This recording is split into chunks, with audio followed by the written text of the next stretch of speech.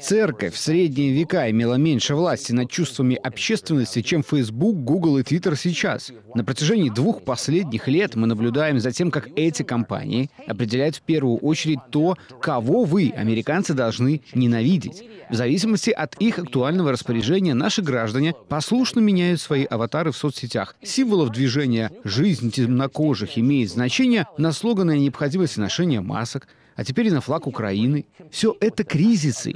И каждый новый кризис тщательно организуется из Кремниевой долины по указанию Белого дома.